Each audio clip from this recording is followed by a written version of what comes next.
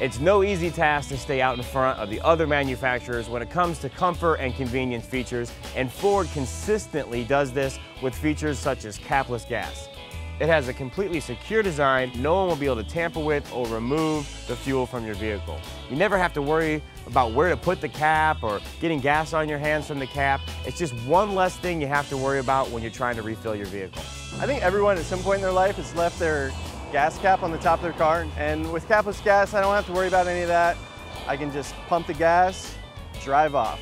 It's clean, keeps your hands clean. You don't smell like gas. It seems like a simple thing, but it, it uh, is one of those, now I take it for granted and when I'm in another car that I have to take off a gas cap and wonder where to put it, it's often, uh, I like mine better.